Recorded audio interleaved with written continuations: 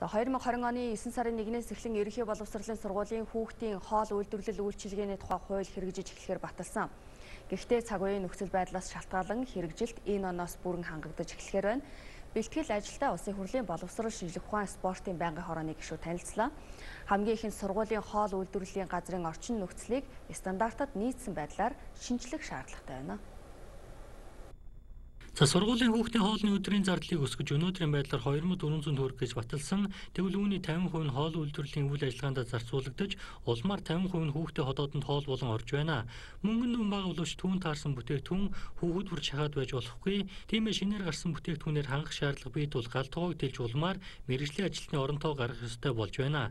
Ингэхдээ нийгмийн ажилтныг энэ чиглэлд бэлтгэх боломжийг мөн хайж байгаамаа ерхий боловсролын сургуулиуд дээр байгаа нийгмийн ажилтан мөн бас энэ эрүүл мэндийн ажилтнуудыг хоол үйлдвэрлэлийн мэрэгжилтэн болгоход хөрвүүлэх чиглэлийн ажил явах гэдэг юм шүү дээ тий. Тэгж хөрвөн хөрвөн шургах ажил. Тэгээ энэ дээр онлайнаар явна гэхээр эргэцүү орчны асуудал ер нь улс таяар ийм асуудал байгаад байгаа. Тэгээ энийг бол боловсролын тухай багц хууль орж ирж байна. За боловсролын тухай багц хуулийн ерхий боловсролын тухай хуулийн үндсэн үзэл санаа мөн дээд боловсролын тухай хуулийн үндсэн үзэл санаа энэ хууль дээр орж ирж байгаа том асуудал нь юу вэ гэхээр энэ онлайнаар сурах сургалтын орчныг хууль эрх зүйн хувь зөвшөөрөх. Энэ боломжийг нээж өгөх энэ асуудал бол үндсэн үзэл санаанд нь орцсон яваа. Тэгэхээр энэ асуудал бол үндсэндээ энэ одоо хаврын чуулганаар өргөн баригдаад энэ намрын чуулганаар батагдах болов гэж харж байна. Нэгдүгээр сургууль дээр үдийн цайных нь үйлчлэгийг авахын тулд 40 сая төгрөгийн хахуул өгөх юм бол галтгоог ингээ ажилуулъя гэж байна гэсэн ийм нэг ирсэн. Би яг албан ёсоор тухайн үеийн Баатар үлэг сайдад за ийм асуудал ингээ явж байна 600 төгрөгөнд ганц ширхэг нарийн бов ганцхан аяга үзмний шүүстэй ингээд өгж шүү. Гэтэл энүүгээр чинь ингээд би яг энэ шүтээсийн хийжсэн ажлуудыг ингээд ярьжсэн байхгүй. Тэгэхээр энэ ажлыг одоо энэ хууль бус үйл ажиллагаа энэ одоо ашиг сонирхолтой хэсэг бүлэг хүмүүсийн энэ үйл ажиллагааг таслан зогсоох нь одоо бидний ажил нэлээд урагшаа явахын одоо юу шүү гэдгийг нэгдүгээрт бүр би энийг онцлон хэлж байна.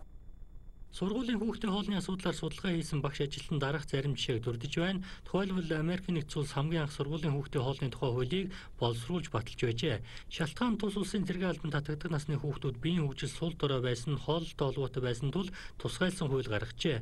Манай улсад энэ төрлийн судалгаа хийж дата үүсгэхэд 25 дугаар сургууль дээр тусгайлан анхаарсан байна. Ингээд амин дэмтэй хоолоор тогтмол хангасны дараа оюуны хөгжил султай байдаг хүүхдүүдийн бие биелдэр сайжрахаас гадна сэтгэн бодох чадвар хурд нэмэгдэж байгаа сайн үр дүн хүртэл гарсан байна. Бид нар ихэвчлэн боловсролын яам нь хариуцдаг энэ дандаа хуйлтай байдаг. Ер нь одоо нэг 50% нь хуйлтай 50% бол үндсэндээ хэмжээний том стандартаар зохицуулагдаад баг шүү. За энэ бол нэг сэтгэл татам нь болохоор Солонгос улс 1953 онд хуулиа батлаад ингээд Солонгосын дайнаа дараа өвс идэж ууж исэн ард түмэн хүн ардынхаа одоо яаж одоо юуг яах вэ гэдэг энэ сургуулийн хүүхдийн хоолн дээр хүч тавьж ажилласан байдаг. За ингээд одоо 15 онд тэгэхэд Солонгос хүүхдийн дундаж өндөр ингэж өссөн байж байгаа. За тэгээ эндээс харахад бол айл бол хүүхдийг бага наснаас нь эхлээд тоолох юм бол илүү өсөлт хөгжилтийн дэмждэг юм байна гэдэг нь харагдж байгаа. Сануулгад манай улсад 1990-ад оноос эхлэн хүүхдийн хоолны дэглэм алдагдсан байна. Энэ нь өнөөгийн хүн амын өвчлөлийн нэг шалтгаан болоод байгааг анхаарах хэрэгтэй болж байгаамаа. Тиймээс хуулийг үр дүнтэй хэрэгжүүлж чадвал 10-аас 15 жилийн дараа эрүүл саруул биетэй залуусын үе бий болно гэж харж байгаамаа. Эмнэлэг олон тоогоор барих биш эрүүл хоолтой эрүүл иргэн нэг талаас хөрөнгө их зарцуулах шаардлагын хүрээнд хуулийг боловсруулад байна. Хотын суурьшлыг тэлхэд